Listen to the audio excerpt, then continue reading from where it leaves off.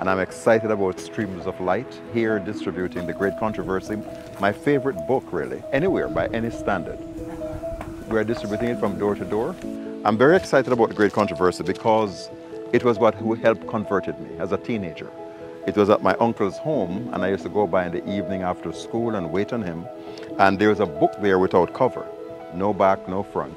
And I used to sit in the evening and read it, but I've never heard or discovered or seen such things before in my entire life.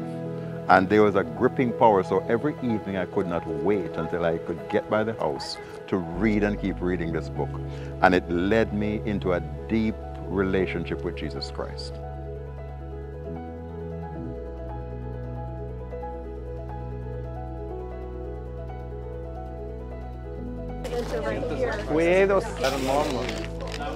Hi, I'm Nathan Kraus. I'm Vice President for Ministry and Evangelism and Texas Conference. I'm here in Houston with Streams of Light. We're distributing the book, The Great Controversy, having amazing experiences as we meet with people from around the neighborhoods we've entered into.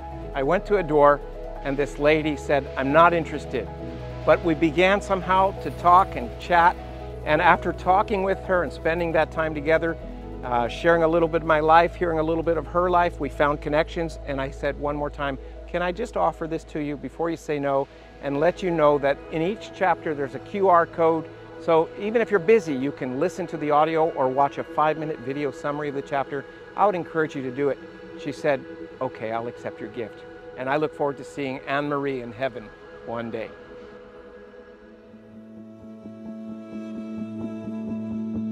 We started at 5 a.m. with a two and a half hour prayer session focused on personal revival and on united prayer for those that were going out to reach into the community. Directly after prayer, we eat a powerful breakfast. We load the vans, we have a short worship, and we have a power punched training, and then we all get into the vans and are sent out to the field.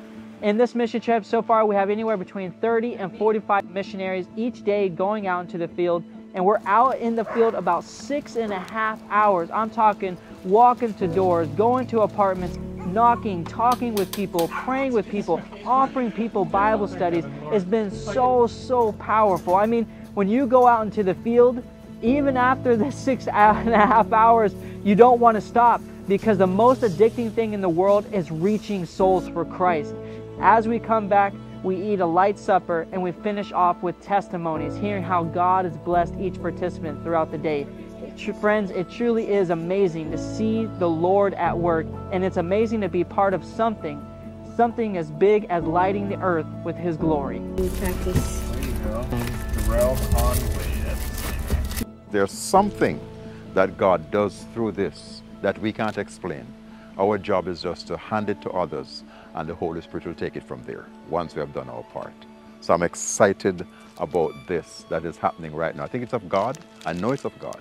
And in this last days, God is doing something beyond us through this powerful instrument leading people to Christ and preparing people for the Advent.